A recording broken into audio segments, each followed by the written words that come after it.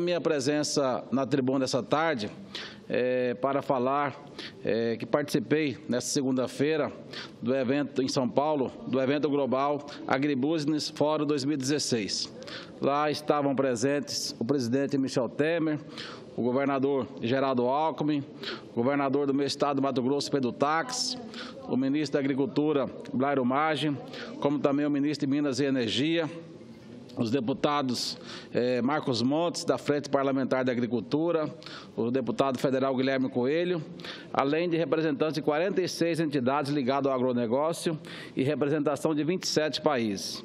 E quero destacar aos senhores senadores e à população brasileira e ao setor de agronegócio, a todos que nos assistem pela TV Senado e nos ouvem pela Rádio Senado, que o agronegócio é a mola propulsora do nosso país.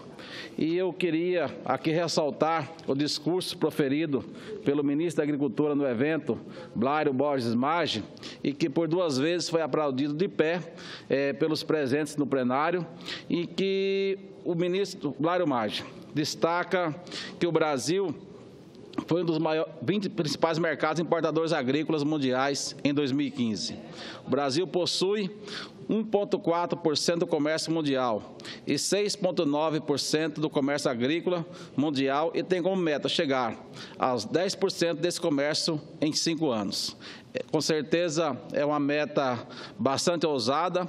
Hoje nós estamos com 6,9% do comércio mundial e chegar em cinco anos a 10% é uma meta bastante ousada, mas será muito produtivo e com certeza trará muitas divisas para o Brasil. Os Estados Unidos é o principal concorrente do Brasil no comércio agrícola. Segundo o ranking mundial de 2015, os principais produtos produzidos e exportados pelo Brasil foram o açúcar, o café, o suco de laranja, a soja em grãos, a carne bovina, a carne de frango, o milho, o farelo de soja, o óleo de soja, a carne suína e o algodão. A economia brasileira conta com uma grande participação no agronegócio. São 46,2% em exportações, o que representa 21,5% do PIB. É possível perceber que o futuro das exportações do agronegócio está voltado para a Ásia, principalmente as regiões Sul e Sudeste.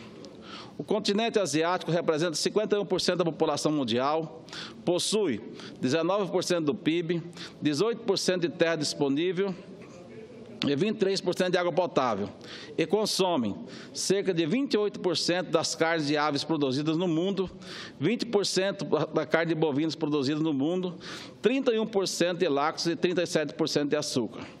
Em relação ao potencial de terra e água disponível no mundo, o Brasil é o segundo país com maior percentual de terras cultiváveis, ficando apenas somente atrás do Sudão e o maior em número de água disponível, como já disse antes. Os Estados Unidos e a China têm um percentual bem menor que o Brasil em relação ao potencial de terra e água. É importante lembrar que quanto maior o crescimento da população, menor é a disponibilidade de terra. Em relação à ocupação de terras no Brasil, e são dados importantíssimos destacar aqui, apenas 8% da área nossa, do nosso território, são dedicados à lavoura e florestas plantadas. 19%, 19,7% mais especificamente, são dedicados, hoje são com pastagens. 11% de vegetação nativas em propriedades rurais, 17% em vegetação nativas em unidades de conservação, 13% de vegetação nativa em terras indígenas, 20% de vegetação nativa em terras devolutas, relevos, águas interiores. Ou seja, a maior parte da ocupação de terras do Brasil é composta por vegetação nativa. 61% da nossa área é composta por vegetação nativa nas especificações que eu citei antes. 38,7% são de propriedades rurais, restando apenas 11,3% de cidades marcas ecológicas, infraestrutura energética, mineradora e outros. Para você ver, presidente, que na verdade nosso país, com apenas 8% da área cultivada, hoje é o maior produtor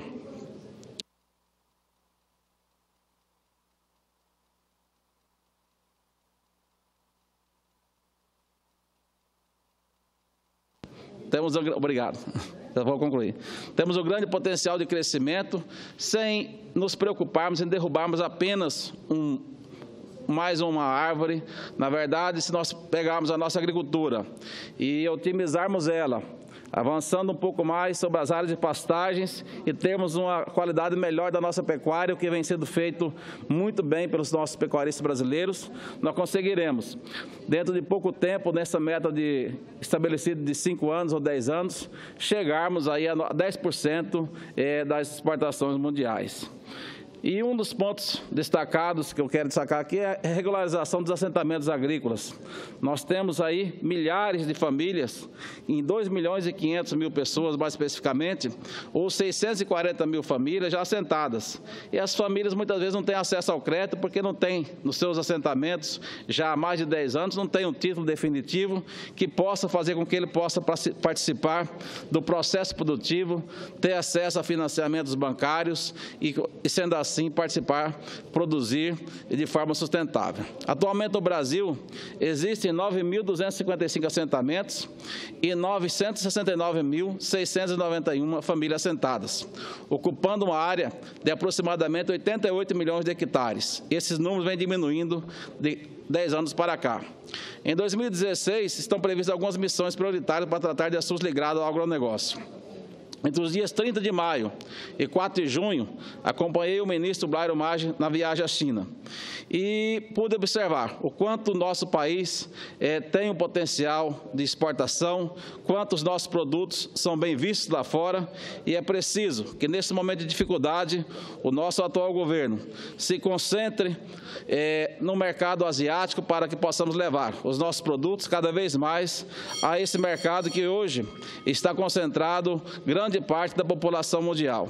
E as novas missões que o Ministério da Agricultura, o Ministério do Desenvolvimento, o Itamaraty estão organizando para os países da Ásia, para os Estados Unidos agora, no mês de, de julho, é, para que possamos assinar um documento para exportação de carne bovina para os Estados Unidos e também da mesma forma é, importação de lá para cá, vai fazer com que nosso país possa, nesse momento de crise, utilizar, utilizar aquilo que tem de melhor, que a nossa produção agrícola, a nossa carne, que é de melhor qualidade, para ajudar a superarmos esse momento de dificuldade. Só, era só isso, senhor presidente. Agradeço pela paciência. Muito obrigado.